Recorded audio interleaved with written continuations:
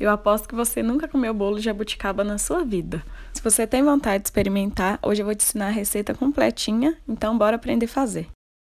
Para essa receita, eu vou usar duas canecas de jabuticaba e sim, vai com a casca e tudo, viu?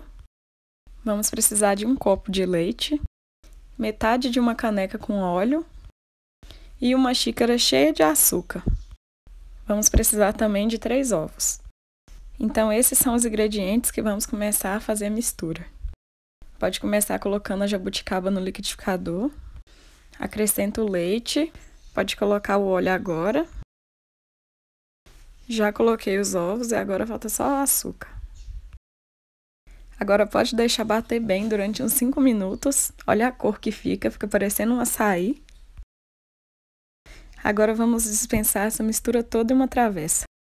Agora eu coloco a farinha de trigo, duas xícaras e meia de farinha e o fermento em pó, uma colher bem cheia. O fermento em pó que eu estou usando é esse aqui da marca Royal. Agora bora fazer essa mistura, vou bater na mão mesmo. Depois de bater fica desse jeito, esse é o ponto ideal. Agora é só jogar a mistura em uma forma untada e levar ao forno durante 40 minutos. Olha a cor dessa massa que linda! E o resultado foi esse. A massa fica muito fofinha. Essa receita que eu passei para vocês dá em média 10 pedaços desse tamanho de bolo. O sabor do bolo está aprovado, fica delicioso. Eu tenho certeza que vocês vão amar. Quem fizer a receita, volta aqui para comentar o que achou. Fiquem com Deus até o próximo vídeo.